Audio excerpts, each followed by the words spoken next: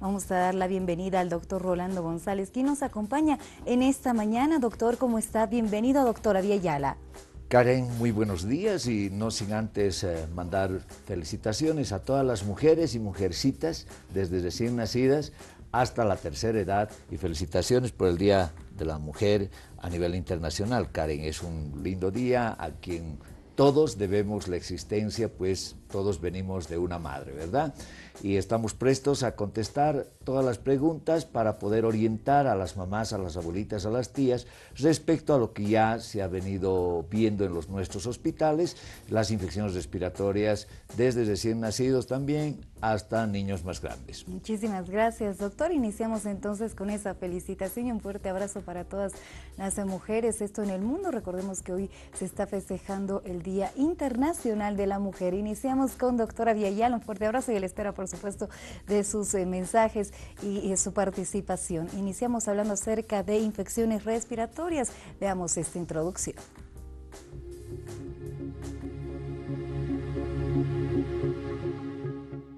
Una de las causas principales por las que los padres acuden con sus hijos al pediatra es como consecuencia de algún tipo de infección respiratoria.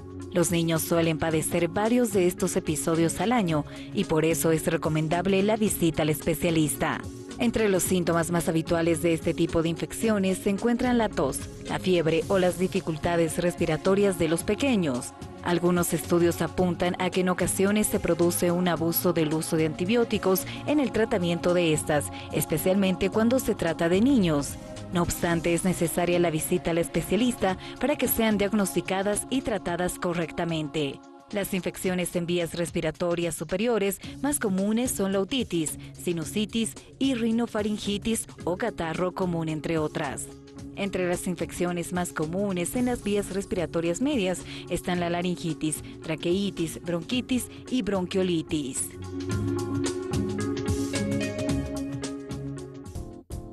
214-8401 desde ya está habilitado y el 656-39678 para que usted realice sus consultas, se comunique y participe con este que es su espacio, su programa, doctora Ayala. Iniciemos, eh, doctor, por favor, ¿en qué consisten estas infecciones respiratorias, más que todo en niños? Bien, la mayoría de los casos, como decía el video, pues son enfermedades que son producidas por los virus. Y bien, estaba bien clara la explicación, eh, eh, Karen, eh, en el sentido de que no hay que utilizar antibióticos porque bajan más las defensas y las enfermedades virales o, los virus no les hacen ni cosquillas los antibióticos. Por lo tanto, lo mejor cuando se presenta una infección respiratoria un poco complicada, lo mejor es acudir al centro de salud, que el médico vea o su pediatra vea o el médico familiar para poder orientar.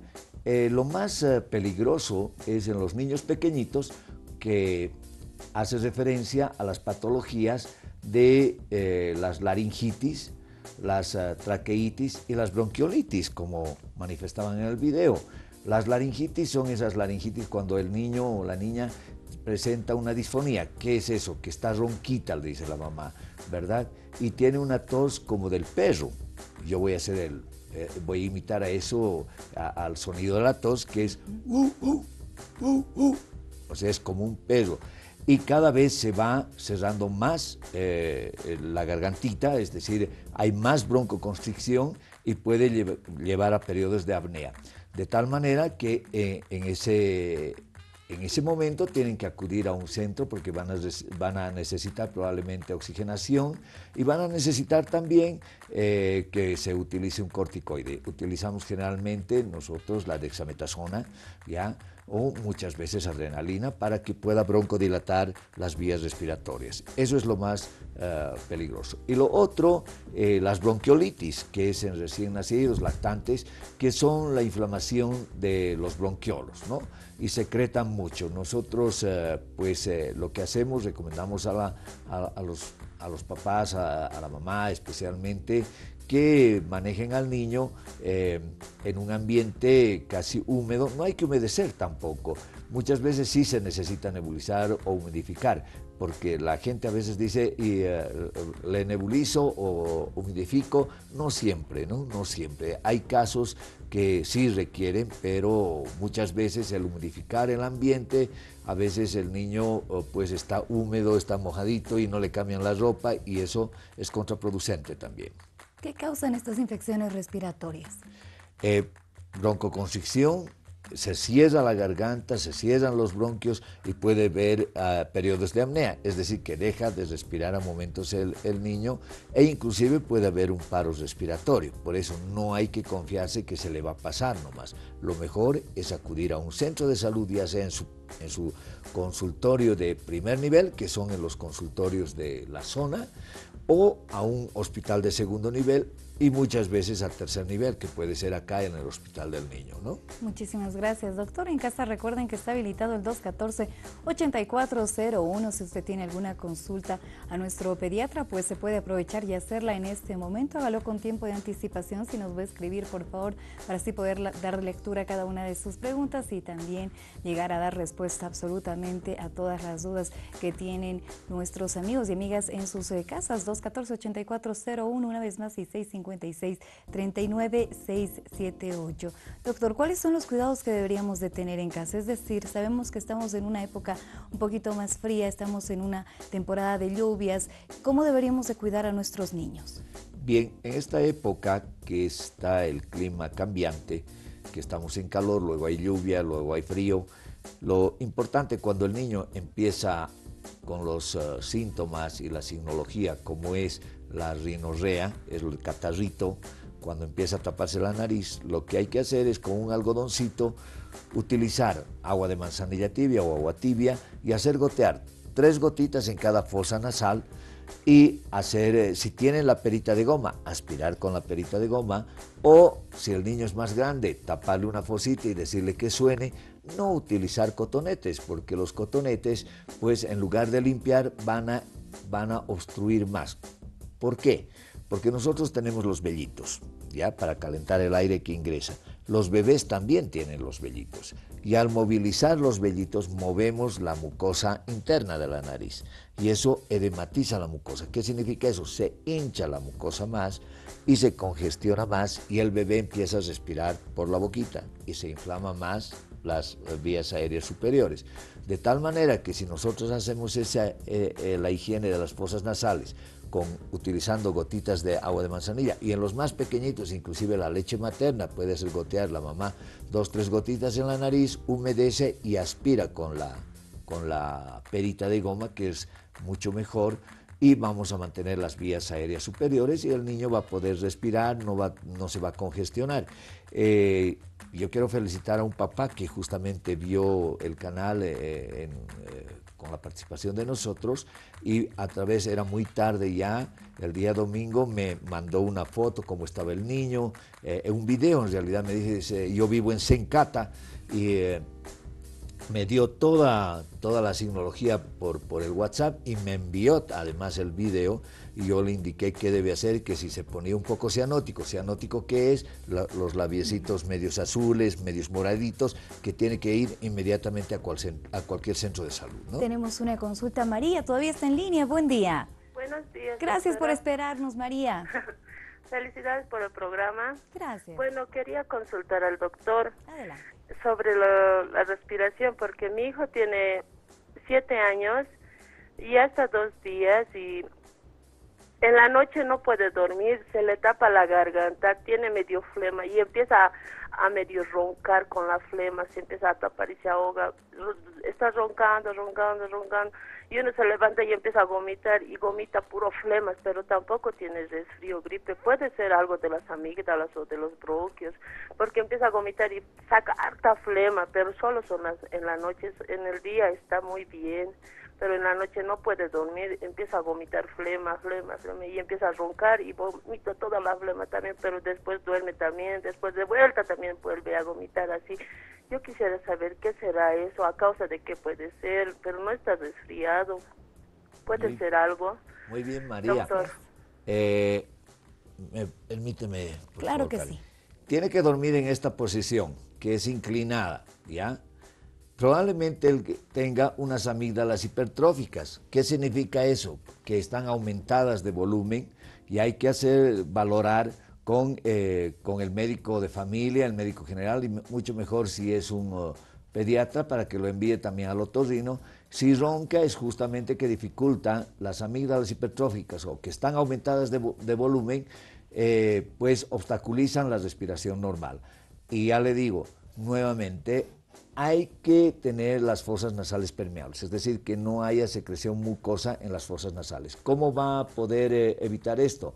con agua de manzanilla o agua tibia, hacer eh, instilar, es decir, hacer gotear dos, tres gotas en cada fosa nasal y obstruyendo una, una fosa le dice que sople y ahí se limpia la otra fosa y ahí limpia y le va a ayudar bastante. Pero lo mejor, si no hay gripe, si no hay otra característica de resfrío, otro síntoma de resfrío, llevarlo a que lo valoren y, pues ahí le van a indicar eh, qué está pasando con las amígdalas. Probablemente lo más seguro es que hay eh, eh, amígdalas hipertróficas, es decir, que constantes resfríos mal curados han originado que las amígdalas, que son los adenoides también, que aumentan de volumen y eso obstaculiza en la respiración normal en el niño. Vamos a dar lectura a algunas de estas preguntas. Tengo un cosquilleo y eh, estoy tosiendo hasta lastimar la garganta, dice, y sangro, tengo gastritis y me complico. ¿Qué es lo que puedo hacer, doctor? Bien, cuando hay una molestia en la garganta, es probablemente que hay una inflamación de vías aéreas eh, superiores, es decir, desde la nariz hasta la cavidad oral. Eh, no es necesario tomar antibiótico para eso, hay que lubricar, es decir, lubricar como con un líquido tibio, eh, chupar cualquier pastillita para tener húmeda ah, la cavidad oral y no se seque. Eh, no hay que utilizar eh, líquidos fríos. Evidentemente, en el momento de tomar un líquido frío, eso alivia en el momento, pero perjudica más, inflama más. de ser necesario, tendrá que tomar algún antiinflamatorio que están dentro de las AINES, es decir, de los antiinflamatorios, para poder desinflamar y pues hay algunas pastillas que hoy en día ya vienen eh, con uh, un poco de lidocaína que uh, anestesia un poquito y facilita, digamos, uh, o permite tolerar esa molestia. La tos es un mecanismo de defensa. Posteriormente también vamos, van a tener, creo, la visita de un colega también que les va a decir qué es lo que pasa o qué síntoma es el sangrado o emitir una eh, un sangrado gástrico, ¿no? Eh, pero en la parte de vías aéreas eh, simplemente esos consejos. O utilizar también algún antigripal que va a ayudar en el proceso de la enfermedad viral. Tenemos otra consulta. Isabel, buen día. Buenos días. Disculpe, doctor, quería hacerle una consulta. Tengo un niño de cuatro años que ha tenido un resfrío, estaba con tos y tenía la, la tapada hace como unos dos meses y le ha, tomado abrilar. Pero ahora resulta que sigue igual con su nariz tapada, despierta con su nariz tapada y tiene una mucosidad un poco espesa. Y sigue algunos momentos con la tos y con flemas. No sé qué es lo que le podría dar.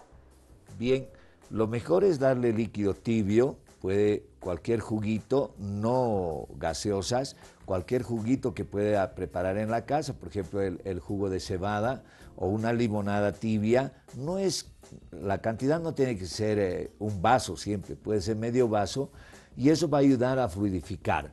Y si en caso necesario eh, eh, tendría que tomar algún fluidificante, pues eso hágalo con la prescripción o, previa consulta con su médico de familia o con el médico que hace su control en su centro de salud o en su seguro.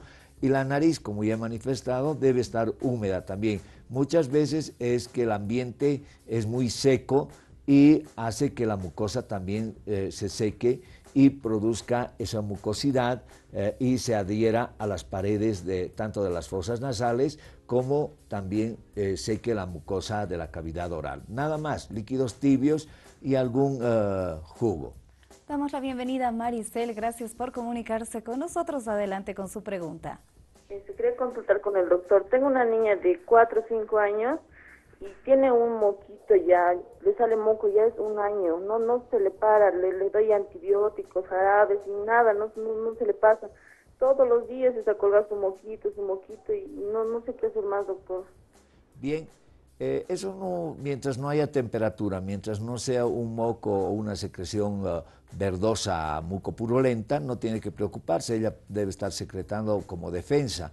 Eh, lo que hay que hacer, les reitero a todas las mamás, es mantener las fosas nasales húmedas y limpias, permeables, como decimos nosotros.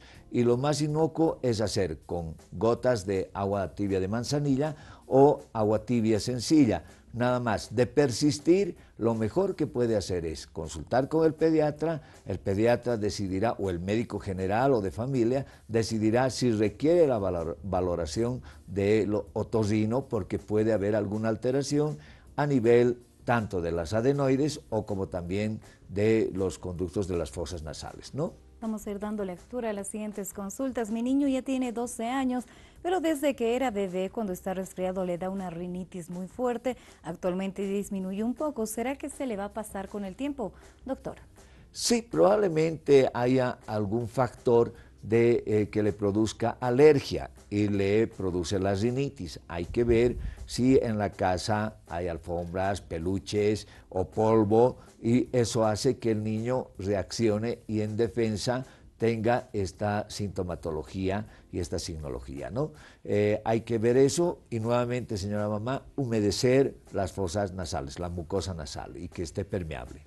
Bien, vamos a dar lectura a las siguientes consultas. Algunas no tienen mucha relación con el tema, pero por supuesto vamos a hacer todo lo posible para dar respuesta. Buenos días, mi niño tiene alergia y las ronchas, sé que le aparecen cuando sanan, se le quedan manchas. ¿Será que se le perderá? Muchísimas gracias por escribirnos y por vernos. Bien, ese tipo de patología o sintomatología también eh, es cuando se sirven alguna algún tipo de alimentación que produce lo que llamamos la urticaria o exantemas también que, va por intoxicación alimentaria, también puede ser. Lo mejor es ir controlando.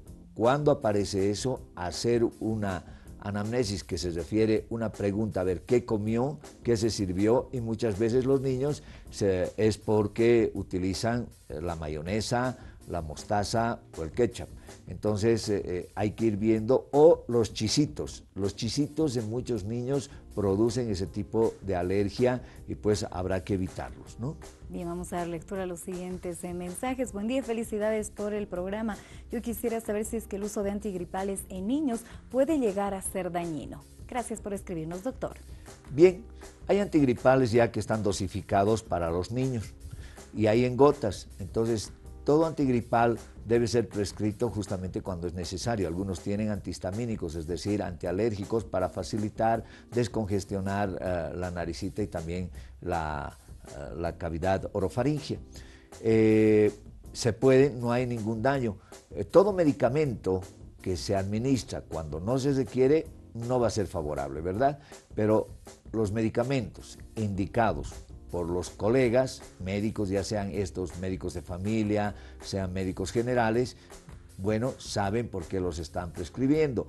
No así ir a la farmacia y decir, eh, eh, tiene tal cosa y la farmacéutica le va a dar. No se olviden que a la farmacia lo único que le interesa, pues, es vender sus productos y no tiene una indicación, eh, pues, acertada o correcta que va a realizar eh, un colega médico y mejor aún, en el caso de los niños, un colega pediatra.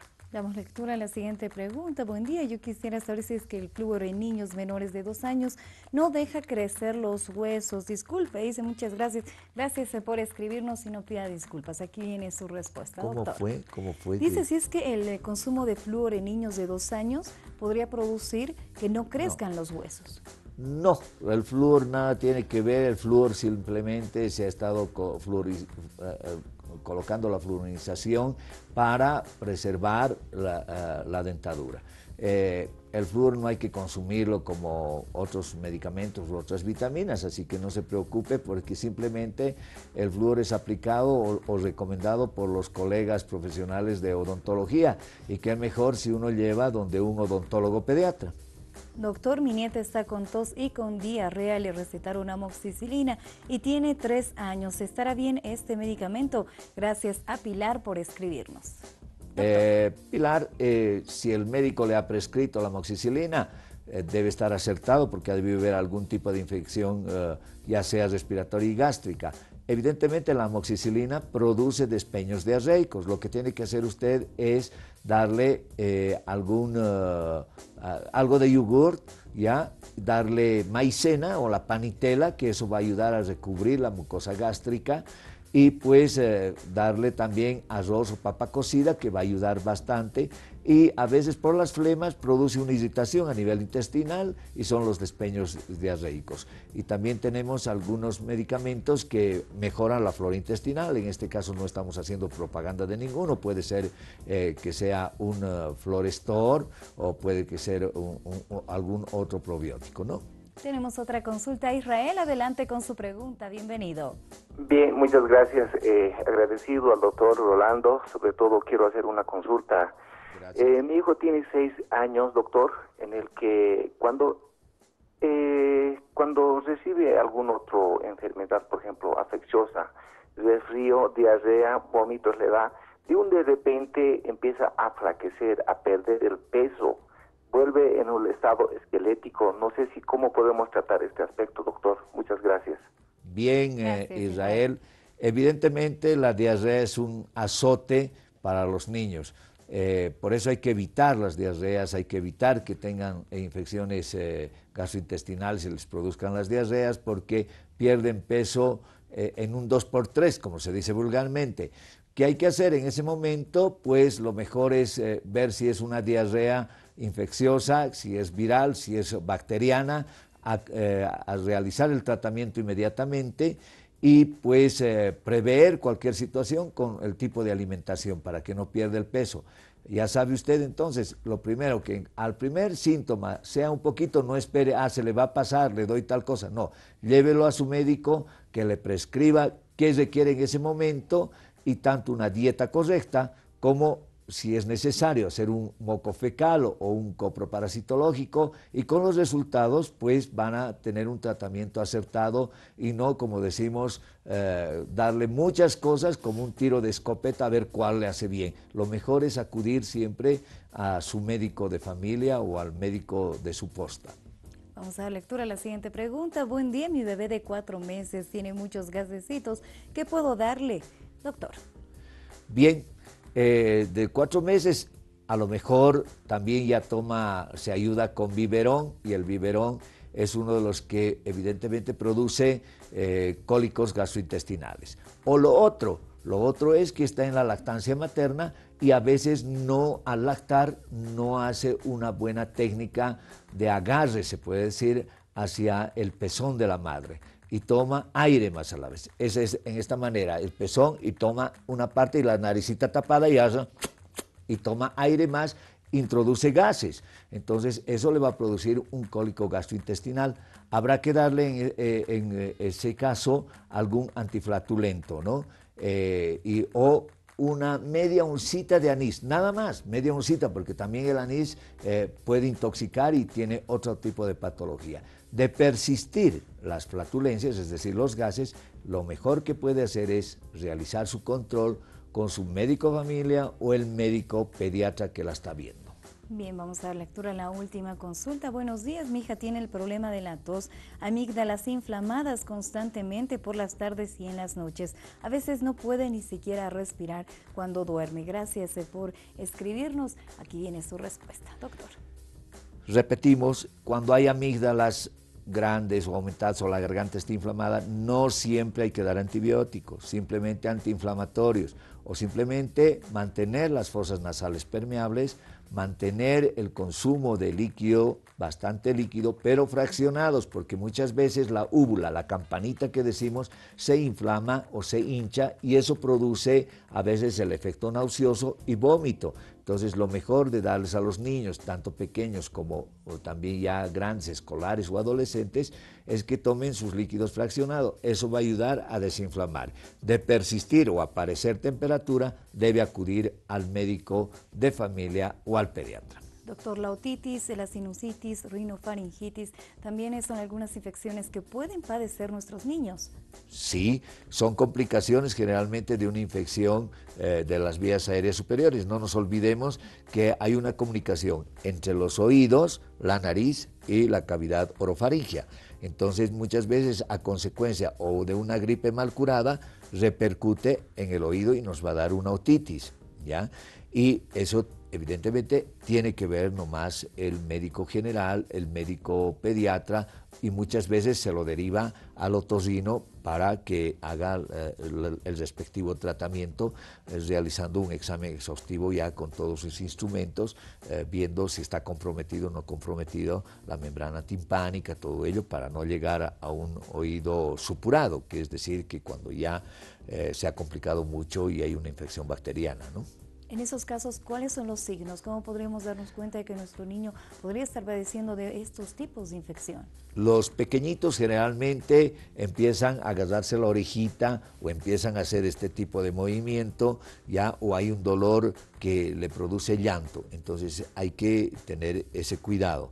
Y los niños más grandecitos ya refieren que le duele eh, en el lugar del oído, ¿no? Y los más grandes, bueno, dicen, me duele el oído, me duele el oído, entonces hay que llevarlos directamente. Muchas veces requieren simplemente antiinflamatorios, no requieren eh, eh, utilizar antibiótico. Y esa es la decisión ya ah, del médico que en el momento lo ausculte, ¿no? Muchísimas gracias por acompañarnos. Antes de finalizar con este tema, algunas recomendaciones para papá y para mamá en casa. Sí, evidentemente en este cambio de temperatura, cuando están en un ambiente caliente, salir a un ambiente que va a ser frío, es decir, al exterior, abrigarlos. Se suben a la movilidad, desabrigarlos un poco y al bajar de la movilidad, volverlos a abrigar que no estén abrigados eh, ya sea en el minibús, eh, en, el, eh, en el micro, en el taxi o en la movilidad propia, sino hay que desabrigarlos y al bajar de la movilidad volverlos a abrigar porque ahí es cuando se resfrían los niños y hay el cambio de temperatura.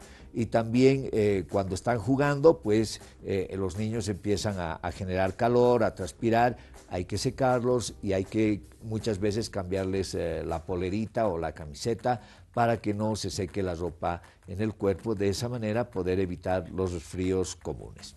Muchísimas gracias por acompañarnos, doctor. Lo estaremos esperando en una próxima edición junto a doctora Viellana.